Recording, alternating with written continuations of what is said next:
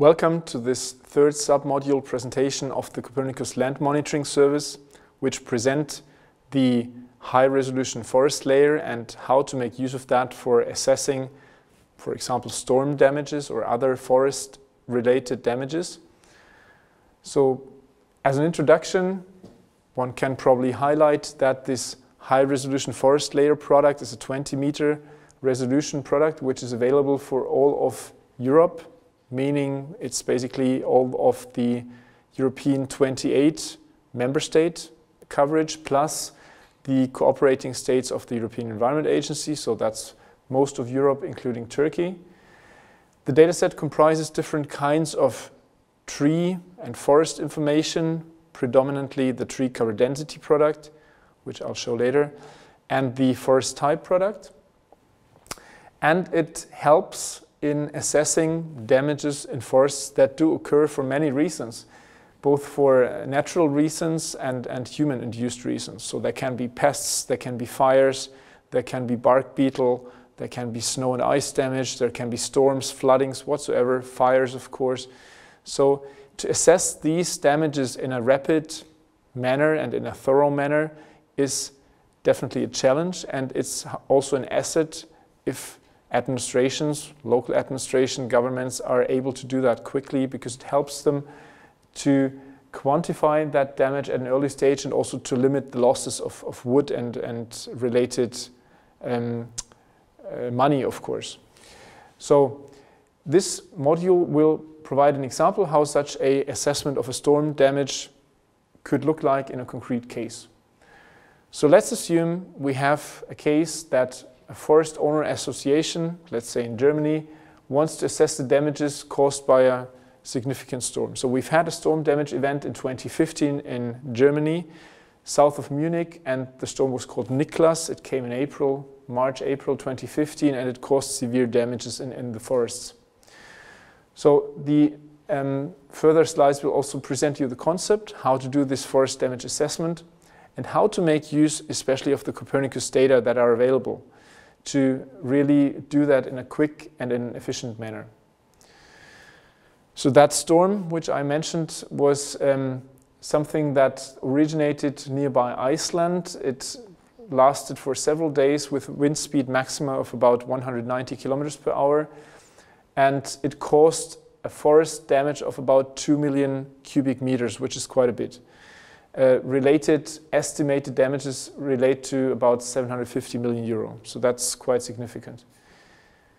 Um, in this case, it's been really crucial to have really rapid information on where the damages occurred to remove the timber to prevent further infestations by bark beetle and to prevent further losses.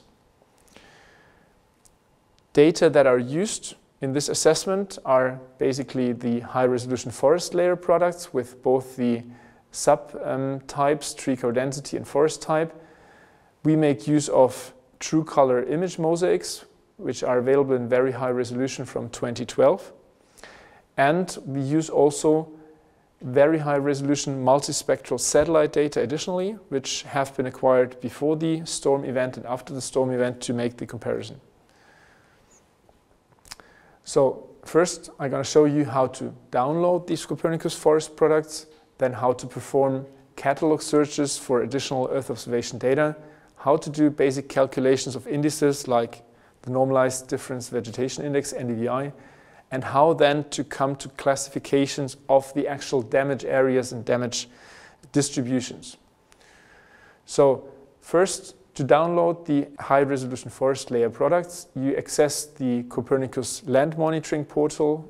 The address is given here. You select the continental component, and then you select the high-resolution layers as encircled here in red. Next step is to select the forest layer, which is one out of the five layers imperviousness, forest, grassland, wetlands, and permanent water bodies. So it covers the most area in terms of overall percentage of Europe and um, there's these two different kinds of products, tree cover density and forest type, and we select and download both of them. The tree cover density being a product with, with a 20 meter spatial pixel resolution, which provides information on the density of tree cover per 20 meter pixel, given in a range between 0 and 100%, so derived by sophisticated algorithms.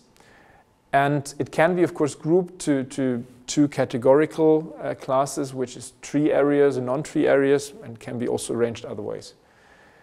The second product is the forest type product, which is also based on 20 meter satellite data, but has a minimum mapping unit of half a hectare.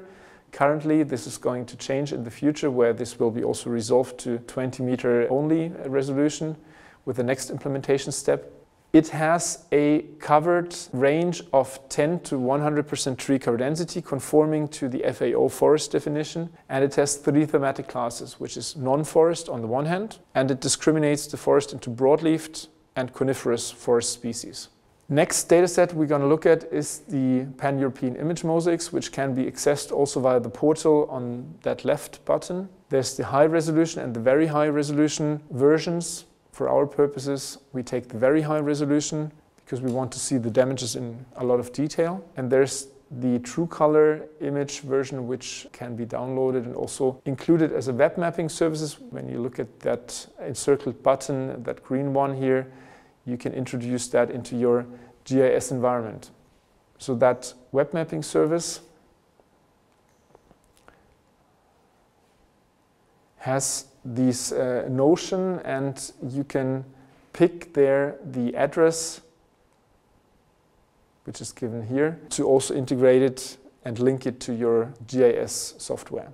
Additional to the image data that are available via the Copernicus services, which are updated at regular intervals, typically at three years intervals, you will need for the exact assessment also acquisitions which are very close to the event. So preferably an acquisition very close before the event and an acquisition very close after the event.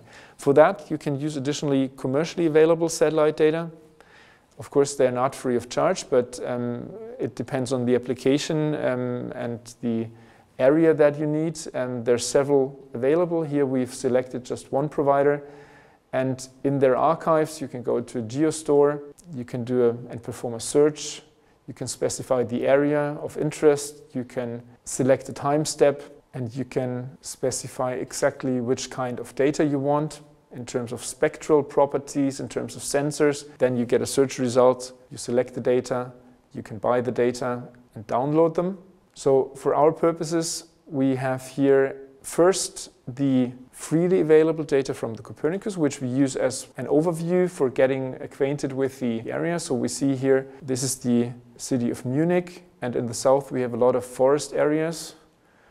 And um, we have a special area of interest just to show the principle of the uh, detection here. We have here the true color Copernicus image underlying and the forest layer added on top, which is the green encircled areas here. So all this basically, which is in the confines of the green outline, is the mapped and defined forest. So on this slide, you see the high resolution forest layer overlaid as a green outline on the optical image data from the Copernicus two and a half meter web map service. And basically everything that's encircled by that green outline comprises forest area as mapped by the high resolution forest layer.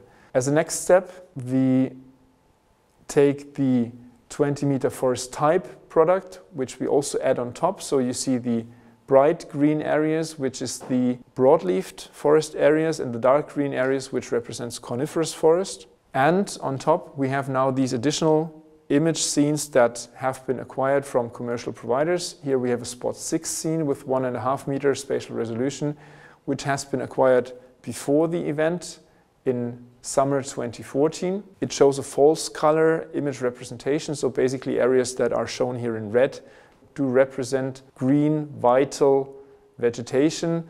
So these relate either to areas of agricultural activity outside the forest or to broadleafed forest within the forest stand. And the dark areas which are shown here in darkish red colors are um, coniferous forest stands, which are typically very much darker because they absorb more light. So on top we have that post-event scene and you can when comparing these two scenes, you can already recognize there's areas of blue introduced here. So these are the areas where the storm has really hit the forest and where timber got laid down. And um, this is an, an, acquisition from summer 2015. And you see these, these yellow encircled areas do clearly indicate already where the damaged areas roughly are located. But that's not enough. We want to have it mapped really in a, in a more detailed fashion. So what we can do is calculate a vegetation index. In this case, we have the normalized difference vegetation index, which is very simple to calculate. Formula is given here. You just divide a subtraction and an addition of the near infrared and the red um, satellite bands. And that gives you a relatively good representation of the density and healthiness of vegetation. So the areas which have reddish, yellowish colors do show, a high normalized different vegetation index, whereas the bluish and purple tones show a low NDVI value. So that can be done for uh, the time before and after the um, event. And of course, then you can calculate the difference between these two different time steps. And this is shown exactly here. So wherever you have not the medium green tones, there has been a change occurring. Of course, one needs to be a bit careful because this comparison is sensitive to various effects, also to image acquisition conditions, to image co-registration accuracy and so on. So you need to be a bit careful here. Also to viewing angles and vegetation phenology, which is not so problematic if you have a similar season in the year for the forest. But you basically see that you can recognize the differences quite well. Also encircled here again, if you do this, this difference calculation, um, you can also apply certain thresholds for saying, okay, I regard this as a significant change, and this is probably not a change, but just a variation. And when you do all that, you come up with such a map which shows you exactly the detected damage areas just in that short section. You could extend, of course, that exercise to a bigger area.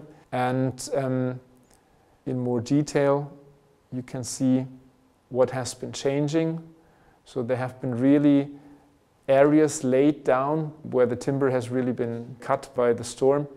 And it's fuzzy shapes. It's not very plain and, and rectangular, so it's very clear that this has been just dependent on the wind direction, wind speed, and local wind conditions. And just as a summary, what uh, has been found after the event, there's assessments been made for that concrete case, and there were altogether 5.7 hectare of damaged forest just found in that very area, out of which 97.5% were found to be related to coniferous forest stands, which is not so surprising because these coniferous forests do have very shallow roots and um, they're very susceptible to such kinds of forest damage events caused by storm and by, by wind.